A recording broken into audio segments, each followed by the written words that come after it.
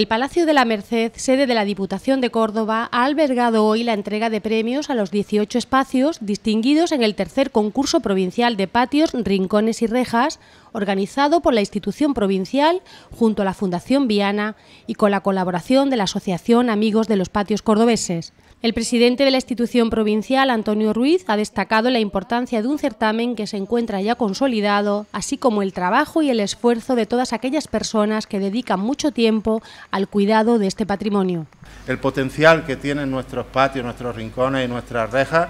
como atractivo turístico que puede atraer a nuestra provincia, a nuestros municipios, a muchos visitantes, a muchos turistas y que supone otro elemento más dentro de todas nuestras potencialidades, dentro de nuestra riquísima oferta turística para generar desarrollo económico y generar empleo también en nuestra provincia. Es un concurso eh, que yo diría que, si es grande es precisamente porque son los vecinos y vecinas de la provincia los que de forma desinteresada se vuelcan en él y, los que simplemente adornan sus patios y, sus rincones con el único objetivo de verlos, de verlos aún más bonitos para luego ponerlos a nuestra disposición. Para nosotros eh, eh, entendemos que es un proyecto que una vez que se está consolidando habrá que apostar por él, habrá, como se menciona por ahí, también, eh, por aumentar su difusión, pero sí que está construyéndose lo que es una marca, una marca patios de la provincia,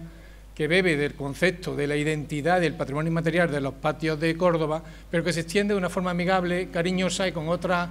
y adaptándola a la peculiar filosofía. Seis patios y otros tantos rincones típicos y rejas han sido los ganadores de un certamen en el que han participado 79 espacios. 33 patios, 23 rejas y 23 rincones que han estado abiertos al público entre el 2 y el 14 de mayo, lo que supone una quincena más con respecto al concurso celebrado el pasado año. En la entrega de premios han participado además los diputados provinciales Maximiano Izquierdo, José Luis Vilches, Carmen María Arcos, Ana María Carrillo, Francisco Ángel Sánchez, Andrés Lorite, Martín Torralbo, Marisa Ruiz y Dolores Amo, así como el presidente de la Asociación Amigos de los Patios, Miguel Ángel Roldán, y el delegado territorial de Cultura, Turismo y Deporte, Francisco Alcalde.